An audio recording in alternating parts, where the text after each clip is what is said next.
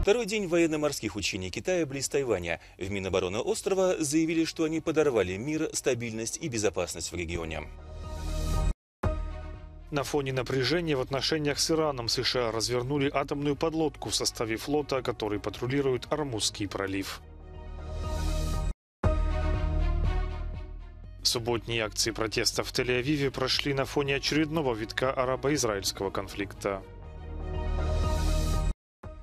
ВОЗ считают, что Китай скрывает важные генетические материалы и призывают к большей прозрачности. В Пекине назвали это попыткой очернить китайских ученых. Китай проводит второй день военно-морских учений вокруг Тайваня, имитирующих окружение и захват острова на фоне растущей напряженности по итогам визита президента Тайваня в США. Минобороны Тайваня сообщила, что в воскресенье вокруг острова совершили облет десятки китайских самолетов. Представители Министерства обороны отметили также, что учения подорвали мир, стабильность и безопасность в регионе. Ранее в субботу глава Комитета по иностранным делам Палаты представителей Конгресса Майкл Маккол заявил, что США рассмотрит возможность отправки своих военных на Тайвань, если Китай начнет в отношении него операцию. Учения армии Китая начались как ответ на визит главы Тайваня Цай Инвэнь в США, которая встретилась со спикером Палаты представителей Кевином Маккарти. Пекин неоднократно предупреждал Тайвань о недопустимости поездки главы острова в США, угрожая сильными и решительными мерами. Операция, получившая в Пекине название «Объединенный острый меч», продлится до понедельника. В субботу вечером Папа Франциск провел пасхальное богослужение в базилике Святого Петра. Из-за холодной погоды понтифик не принял участие в традиционном крестном ходе в Страстную пятницу вокруг Колизея. Накануне пасхальной недели Папа Римский Франциск три дня провел в больнице, поэтому у верующих были опасения, что по состоянию здоровья он не сможет принять участие и в праздничных церемониях. Во время службы понтифик помолился о спасении и сказал, «Пусть свет Христа, восходящий во славе, рассеет тьму наших сердец и умов». Через три года после начала пандемии COVID-19 не утихают дебаты о происхождении вируса. В субботу Пекин обрушился с критикой в адрес ВОЗ после того, как представитель организации обвинила Китай в сокрытии данных о вирусных пробах с рынка в городе Ухань. Китайские власти назвали эти высказывания оскорбительными и противоречащими духу науки.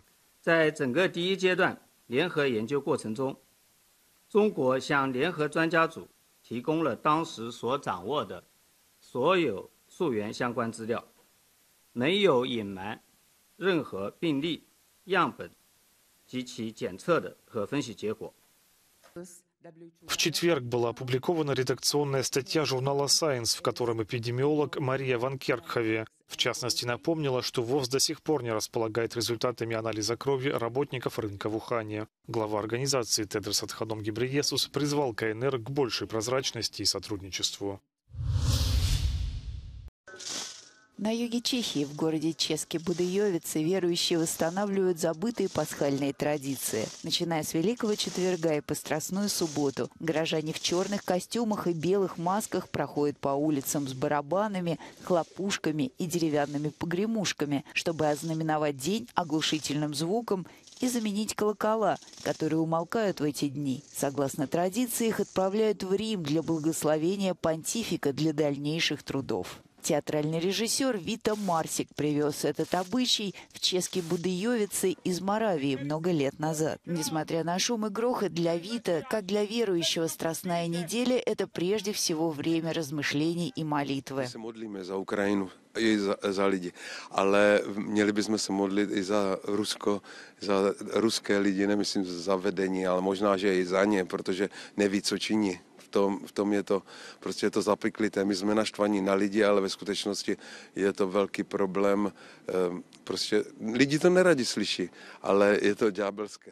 В середине процессии несут алтарь Голгоф и символическое осуждение человеческих пороков, таких как ненависть, лень или зависть. Необычное зрелище достигает кульминации на площади, на которой устанавливаются кресты с распятием.